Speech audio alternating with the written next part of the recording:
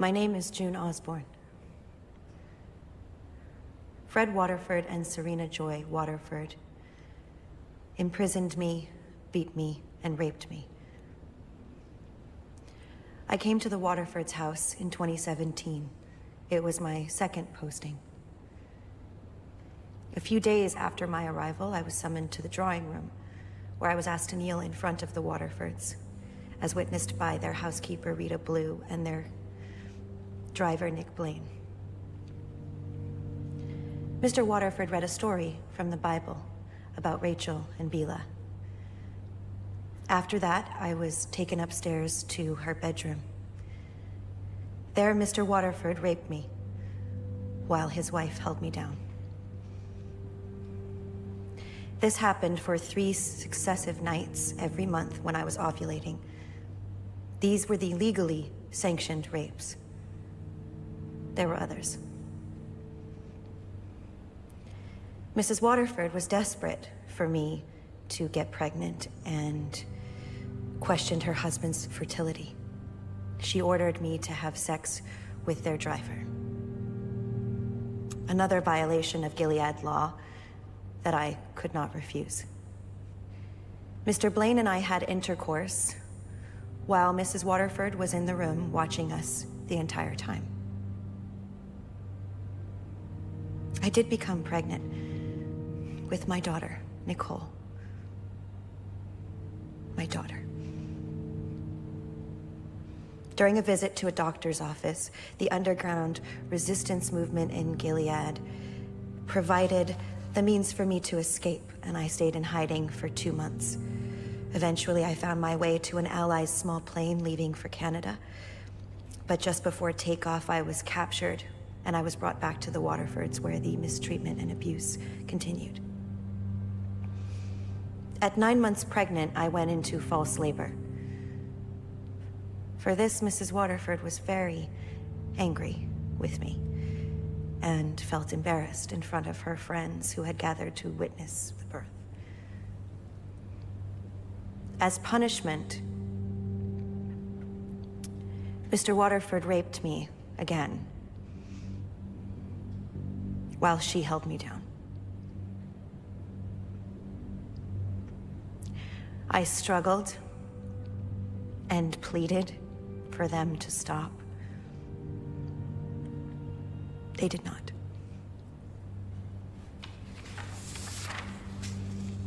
After I gave birth, the Waterfords forbid any contact with my daughter, Nicole, although I was still expected to provide breast milk for her.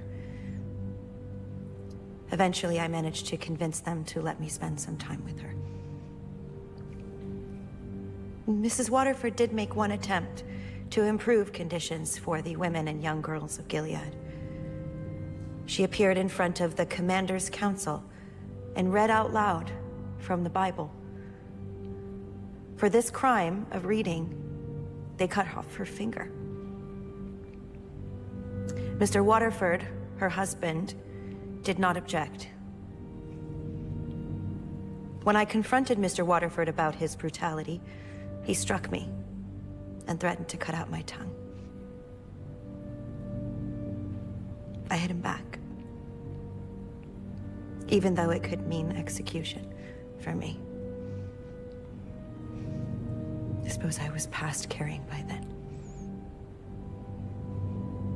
Later, with the help of Rita Blue and other housekeepers in the neighborhood, I had a second opportunity to escape Gilead, this time with my daughter, Nicole.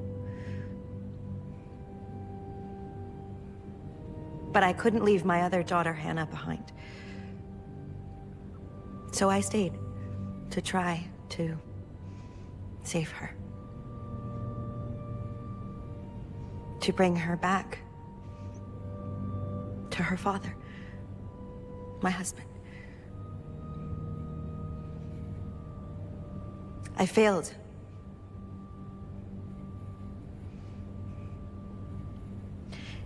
This time when I was captured, I was sent to a new household where Mr. and Mrs. Joseph Lawrence did not subject me to any rapes, at great risk to their own lives.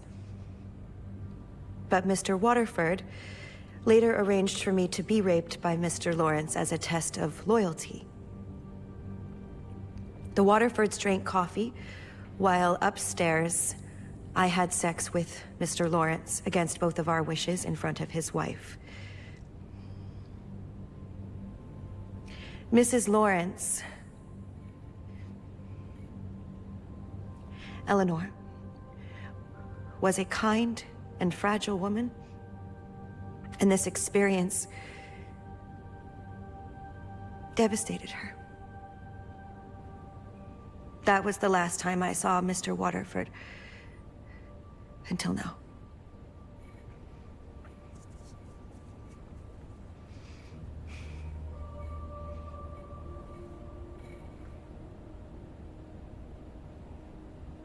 I am grateful to be speaking to you today. But mine is just one voice. Countless others will remain unheard, imprisoned by men like Fred Waterford. Women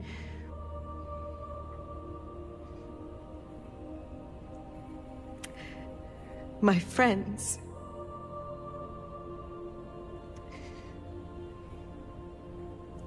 who lost their lives and can never be heard.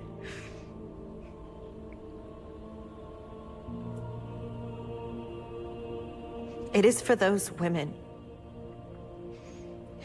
that I ask the International Criminal Court to confirm the charges against this man and put him on trial. I ask for the maximum possible sentence. I ask for justice. Thank you.